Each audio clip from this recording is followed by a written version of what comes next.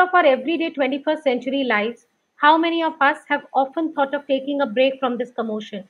I'm sure many. Hello and welcome to Open Court. Today on our show, we'll be discussing a tourism circuit that is full of tourist destinations that are surely an escape for people who are looking for calmness and a spiritual break. But before we move on to that, let's introduce you to the guest of our show, India's renowned archaeologist, Padma Shri KK Muhammad. Welcome, Muhammad Saab. Thank you so much. Thank you. I also have with me Mr. Muhammad Anas. Today, we'll also talk about India's civilizational ties with countries in the Indo Pacific, Southeast Asia, and Asia, including China, Tibet. तो जैसे कि मेरी colleague आस्था ने बताया कि भारतीय सभ्यता और भारतीय धार्मिक परंपराओं का संबंध साउथ ईस्ट एशिया में मौजूद जो देश हैं उनके साथ बहुत गहरा रहा है तो मोहम्मद जी, ये बताइए कि ये जो भारतीय सभ्यतात्मिक संबंध है साउथ ईस्ट एशिया के देशों के साथ में, इतना गहरा कैसे है और इसकी जड़ें कहाँ तक जाती हैं? इंडिया का जो रिश्ता और ताल्लुकात, खासतौर सेंट्रल एशियन कंट्रीज़ की, जो फार ईस्ट एशियन कंट्रीज़ से and south east Asian country से, इन सारे जो कंट्रीज़ से बहुत पुरानी रिश्ता है। और क्योंकि वहाँ से सेंट्रल एशिया से कई जो ग्रुप से, कई ट्राइबल ग्रुप से, कई ग्रुप से, कई डायनास्टी से, वो लोग यहाँ आते रहे। फॉर एग्ज़ाम्पल साइरस दैरियस इन लोगों के पीरियड में आया। उसके बाद जो ना अलेक्जेंडर आए, फिर शका कुशान लोग आए हंस आए। उसके बाद जो न टर्क्स आए मुगल्स आए तो इसी तरीके से न काफिले आते गए और हिंदुस्तान बनता गया। So that is one reason दूसरा सेकंड रीजन ये है कि जो इस पीरियड में बुद्धिज्म के पीरियड में Buddhism that influenced a number of countries for example एक तो खैर तो हमारा पास के जो पड़ोसी देश है जैसे नेपाल है तिब्बत है, अफ़गानिस्तान एरिया है, ये सब एरिया पहले से ही that was part of Hindustan लेकिन इसके अलावा एक तो ताजिकिस्तान, ये इसका नाम ही देखिए स्थान, ताजिकिस्तान, किर्गिस्तान, उज्बेकिस्तान, इस तरीके से तुर्कमेनिस्तान, इस तरीके से कई कंट्री से जहाँ एक जमाने में बुद्धिज्म बहुत ज़्यादा फैला हुआ था। क्योंकि अशोक के पीरियड में ही अशोक ने कई वेस्टर्न कंट्रीज़ के लिए सीरिया के लिए भेजा था इजिप्ट के लिए भेजा था बुद्धिज्म फैलाने के लिए। लेकिन उसके बाद जो चाइना में जो इन, इन बुद्धिज्म जो पहुँचा है वो है 68 बीसी में। कश्यप वांगतंगा और धर्म रत्ना करके दो very important very important priest of that period Buddhism का जो प्रीस्ट थे वो लोग जाके वहाँ चाइना में बुद्धिज्म फैलाया। और वहाँ से चाइना से फिर ये कोरिया गया।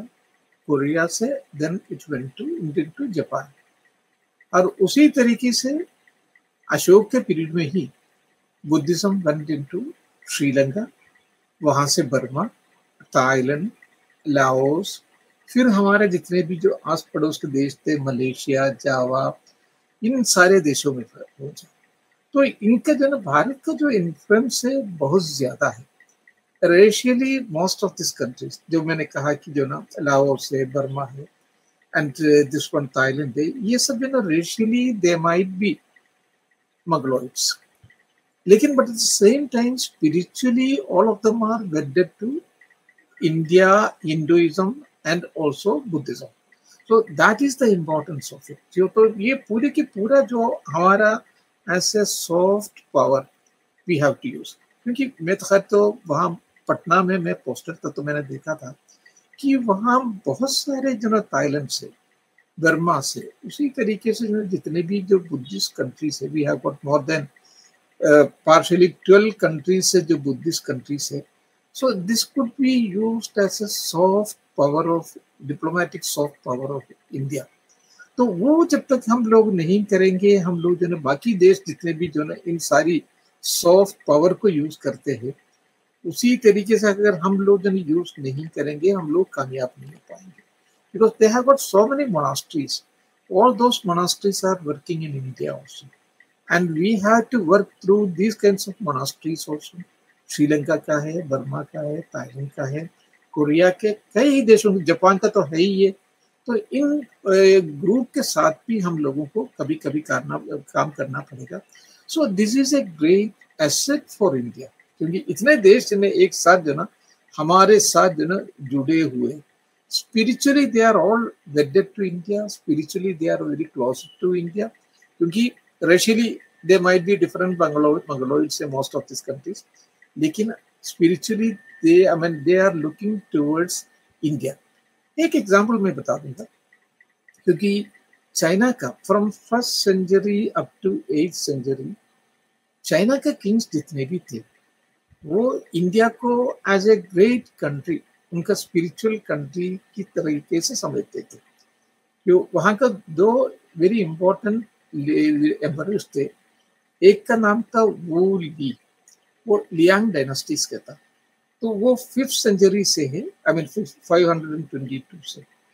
तो वो अशोक को अपना आइडियल आदमी मानता था। अशोक को वहाँ जानते हैं तो ये चाइना में वो यू कहते हैं। तो अशोक की तरह वो बनना चाहता था या कुशान कनिष्क की तरह बनना चाहता था? So he always considered India as his mother spiritual country ह्यूयांग जब वहाँ गए, वापस चले गए, किताबें लेके हिंदुस्तान से किताबें लेके चाइना में वापस चले गया वहाँ का ट्रांसलेशन का काम शुरू किया। तो ट्रांसलेशन में उनको तो ना संस्कृत से चाइना में ट्रांसलेट करना था। तो वहाँ का किंग था उस जमाने का Taizong Taizong was the king at that time that is in the seven century की बात मैं कर रहा हूँ। तो उनको बहुत पसंद आया, क्योंकि बहुत many many books are being translated into Chinese language but one day he made a small request to क्यूंग master you have been translating so many books from Sanskrit to China that is well and good may I request you to translate at least one book of Lao Tse? Lao Tse was one of the great, greatest thinkers of China, like Confucius. So may I request you to translate at least one book of Lao Tse from Chinese to Sanskrit. Yang Sang smiled and he said, Emperor, please don't force me for that. मुझे उसके लिए जो ना आप कंबल मत कीजिए so that shows the spiritual the great spiritual power of India so as I said from first century up to 8th century, India had uh, acquired a kind of mythical proportion even in China. And from China, as I said, it went into uh, this one Korea, and from Korea, it went into Japan. If you look at the Japanese gods and goddesses, a number of these gods and goddesses are really Indian gods and goddesses. Sir मैं ये जानना चाहूँगी कि Hinduism और Buddhism और बाकी Indic religions ने कैसे इतना इनॉर्मस इन्फ्लुएंस एक्सर्ट किया है साउथ ईस्ट एशिया के सिविलाइजेशन पे? इसमें सिल्क रूट की क्या महत्वता रही है मोहम्मद साहब? सिल्क रूट जैसे आप जानते हैं क्योंकि silk route has got two very important divisions The, one is the land route, and the land route is also further divided into two. That is, one is the northern Silk Route, that, that comes from China into Samarkand, Bukhara, and all these countries, and then ultimately to Afghanistan and India. That is one northern Silk Route. And then there is another Silk Route to Tibet, Nepal, Tibet, and other things. That is known as Southern Silk Route. So that is a land route. And then there, there is another group that is known as Maritime Silk Route. So all these countries like Burma, Thailand, uh, uh, Sri Lanka, Laos, and all of these countries falls within that this kind of maritime Silk Route, and even uh, the Saudi Arabia part also, Gulf countries also, all of them falls within that maritime Silk Route. So our this one, our uh, this one, I mean, Indic religions that had gone from two very important sources. One was the Kalinga source. I mean, the great Kalinga kings were there. It was a kind of maritime empire they had built up. So through them it had gone into Southeast Asian countries. And another very important source was the Tamil Chola king. The great uh, Rajaraj Chola, Rajendra Chola, Rajaraja Chola II. These people, they had, I mean, uh, they had rela- cultural relations also, and they had conquered a part of these kind of Southeast Asian countries. So through that region also, through, through that relation also, Hinduism went into all these places. For example, if you go to Cambodia, the great uh, this one Angkor Wat uh, temple, it is one of the I mean the biggest ever built temples in the whole world because it has got a circumference of almost five kilometers all around, and uh, th that is including the mount. And if you look at the other part of it, and that is also, I mean, I mean 3.6 kilometers of fortification wall is there all around. And uh, especially about the, the, this one, I mean, the temple built by this one, there is no other temple in India also, because in India also we were making huge construction. For example, the great Brihadishwara temple is there in Tanjavur, and then there is another very, uh, this one, uh, Gangaikonda Cholapuram temple, that is also in Tamil Nadu. Then Airavadeshwara Dharasuram temple is there. All of them were very great. But none of them were as big, as large, and as great as this one. Similarly, in Parambaram, we have got another temple. So, so, so many Hindu temples are there all over the Southeast Asia, and that spread to those whole areas through this maritime uh, trade route also, and also as part of the conquest of southern kings of the uh, Southeast Asian countries.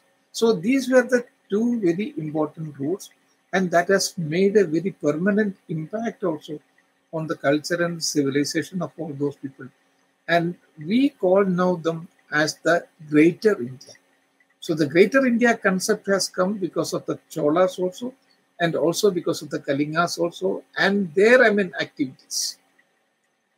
Sir uh, सोचने वाली बात यह है कि उस time पे digital technology uh, नहीं थी वेज ऑफ़ कम्युनिकेशन नहीं थे मास मीडिया नहीं था तब भी रिलीजन्स कैसे एक कंट्री से दूसरी कंट्री पहुँच गए इतना स्प्रेड हो गया My Son temple in Vietnam है yes, Angkor Wat yes. Temple है सर इनके mm-hmm. बारे में आप कुछ बताना चाहेंगे आई मीन दिस वन एक तो वियतनाम का जो मंदिर है I mean, Vietnam is, I mean, at the far end of the whole thing. It is not, I mean, it's very closer to Korea and Japan. How could they make a temple at that time in that particular country? That is, I mean, very important, you know, because exactly it is like an exactly like a South Indian temple. Similarly, the Parambanam temple group. We just cannot imagine that. I mean, we can have we can have this kind of bigger temples in a completely different situation by a completely different people that is because you know the great reach of Hinduism, because Hinduism has got a kind of influence upon the mind of the people, because it is the most liberal religion one can ever think of. Because all, if you look at the Semitic religion, Semitic religions, you know, they have got a hard shell is there because you know only their God is the right God. But in Hinduism, it is not like that. If you worship Shiva, there is no problem. If you worship Vishnu, there is no problem you don't worship any god or you don't believe in any god at all, there is no problem in Hinduism because Hinduism is such a religion which absorbs every, anything, everything and anything. So this kind of free thinking, could just think of it. In 10th, 11th, 12th century, this kind of free thinking, having this kind of having this free thinking was something very unusual.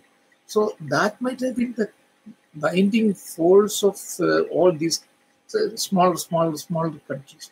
And Hinduism served it, I mean, all these countries very well also. And they also, I mean, uh, made huge temple construction, which even by the yardstick of today also, it is highly surprising how man could make that kind of construction in those period, I mean, at this at 1000 years before. These are some very astounding question for which you don't find any answer at all. Mohammad साहब भारत सरकार ने Buddhism से संबंधित पर्यटन या tourism को बढ़ावा देने के लिए कुछ स्पेशल ट्रेन शुरू की है, जो न्यू दिल्ली से स्टार्ट होती हैं। और वो कुशीनगर यूपी में गया, बिहार और लुम्बरी, नेपाल तक जाती हैं। और इसके अलावा और भी कुछ डेस्टिनेशन है, जहाँ पे कुछ बुद्धिज्म से संबंधित कुछ पुरानी निशानियाँ हैं, कुछ टेम्पल्स हैं, जहाँ की सैर जो है पर्यटकों कराई जाती है। ये एक एक अच्छा प्रयास है और काफ़ी लोगों का इस पे रेस्पॉन्स भी मिला है। तो आपके ख्याल से ये प्रयास इस तरह के जो प्रयास हैं और बढ़ने चाहिए? और ये किस तरह से लोगों को अध्यात्म से जोड़ने का या बुद्धिज्म से जोड़ने का या जो भारतीय पुरानी परंपराएँ हैं भारतीय धार्मिक परंपराएँ हैं उनसे जोड़ने के लिए ये इस तरह के जो प्रयास है कैसे महत्वपूर्ण हो सकते हैं? यस yes, ये जो गवर्नमेंट ऑफ़ इंडिया की एंड स्पेशली टूरिज़्म मिनिस्ट्री के ये जो प्रयास है इसको बुद्धिस्ट सर्किट कहते हैं। तो वो बुद्धिस्ट शुरुआत तो खैर तो दिल्ली से ही है, क्योंकि दिल्ली जो ना, वो बिल्कुल that is the hub of tourism वो तो बहुत ही अच्छा है। लेकिन वो इसमें जितने भी मोस्ट इम्पोर्टेंट जितने भी बुद्धिस्ट साइट से एसोसिएटेड साइट से, वो सारी जगह पे भ्रमण कराया जाता है। अच्छा बुद्ध भगवान ने जो अपनी लाइफ टाइम में ही ये कहा था, क्योंकि चतुर्महास्थान कहते हैं उसको। चतुर्महास्थान का मतलब ये है कि number one that is Lumbini Lumbini was the place where he was born तो ये बुद्ध भगवान ने कहा था, मेरी जो जन्म प्लेस है जगह है, वो सारे लोगों को विज़िट करना चाहिए और वहाँ से स्पिरिचुअल सोल्यूशन लेना चाहिए। So that is one first important thing among चतुर Mahasthan four important places and the second is Bodh Gaya because the Bodhgaya was the place where he had sat on meditation and ultimately achieved, he achieved that Bodhodaya. So Gyan Prapti unko wahi hua. So that is the second place. And that is the most one of the most important places. And the third is even after achieving this Bodhodaya, he did not uh, declare it there. I mean, he again thought of it several times and then he went to kashi and from kashi to sarnath so it was in sarnath where he had for the first time propounded the theory of Buddhism. And that is the world, the whole world is full of dukkha. And there is a way to get out of this dukkha. And that was the real propagation and the real starting point of Buddhism. So that is the third place. And Kushinagar, Kushinagar was the place where he had breathed his last. Handadani Bikava, Amanatayamiva, Vaya Dhamma Shankara Appamadena Sampatitaki. Oh Bhikkhus, oh Bhikshus, it is for the last time I am talking to you, he said. And then he said that जो कुछ बनाया हुआ है वो सब खत्म होगा तो कुछ लोगों ने कहा आप तो आप तुम मृत्यु पाएँगे नहीं, क्योंकि आप तो देवता है। तो उन्होंने कहा, नहीं नहीं नहीं, ऐसी नहीं है। जो कुछ बनाया गया है, वो सब जो ना खत्म होगा, मैं भी मरूँगा। लेकिन you have to hold fast you have to hold fast whatever it is dharma that you have to keep to the that was is last this one mission and the last speech also so that is the fourth place तो ये चारों चतुर महास्थान जो visit करने के लिए ये train बहुत ही अच्छा है। अच्छा उसके साथ ही साथ ये चतुर महास्थान के साथ जो ना, एक अष्ट महास्थान भी है। तो अष्ट महास्थान का मतलब ये ये फॉर इम्पोर्टेंट प्लेसेस के अलावा कुछ जगह पे, जैसे राजगीर है राजगीर में बुद्ध भगवान ने अपना कुछ मेराकल्स दिखाया था। So one was Rajgir second was Vaishali फिर एक तो Shravasti from Sanki and then Sankisa see this were the four other important places तो इन सारी जगह पे बुद्ध भगवान ने अपनी कुछ मिराकल्स दिखाया था। तो इसके साथ जो ना अष्ट महास्थान होते हैं और इसके अलावा भी कुछ माइनर जगह है इसके बीच बीच में। तो ये सारी जगह पे जाने के लिए और वो समझने के लिए और उससे जो ना प्रेरणा लेने के लिए एक बहुत ही अच्छा उपाय है ये ट्रेन ये हर इंडियन को, ये इसको जो ना, इसके फैसिलिटीज़ क्योंकि इसमें तो खैर तो बहुत ज़्यादा महँगा नहीं है, मैंने देखा है। ये दिस इज़ अफोर्डेबल कोई भी जो ना, अगर आदमी जाना चाहे अफोर्डेबल ट्रेन है। बहुत अच्छे फैसिलिटीज़ है। अच्छा रुकने के लिए भी अगर जो ना, पहले से ही अगर आप इंतज़ाम करेंगे, हर जगह पे एक तो खैर ट्रेन में ही रुक सकते हैं। इसके अलावा भी जो अगर आप इंडिपेंडेंटली रुकना चाहे, उसके लिए भी फैसिलिटीज़ है। तो ये सारी फैसिलिटीज़ हम लोगों को बहुत अच्छी तरीके से यूज़ करना चाहिए। जितने भी दिन का ये प्रोग्राम है ट्यूब प्रोग्राम है, एक बार वो प्रोग्राम खत्म होगा, उसके बाद जो ना you will be coming out as a new man with spiritual with spiritual union और पूरे जो ना, आप जितने भी ज़िंदगी के इस मीशत में ये hustle and bustle of the life से जो भी प्रॉब्लम है, उससे छुटकारा पाके जो ना you will be coming out with a new lease of life Mohammad साहब, आज की पीढ़ी सेल्फ वर्थ और सेल्फ लव की बात करती है। I think so ministry of tourism का ये जो प्रयास है, स्वदेश दर्शन स्कीम जिसमें बुद्धिस्ट सर्किट आता है डेजर्ट सर्किट आता है कोस्टल एरियाज़ का सर्किट आता है। आई थिंक ये जो स्कीम है देखो अपना देश इसी दिशा में एक बहुत ही ज़रूरी प्रयास है।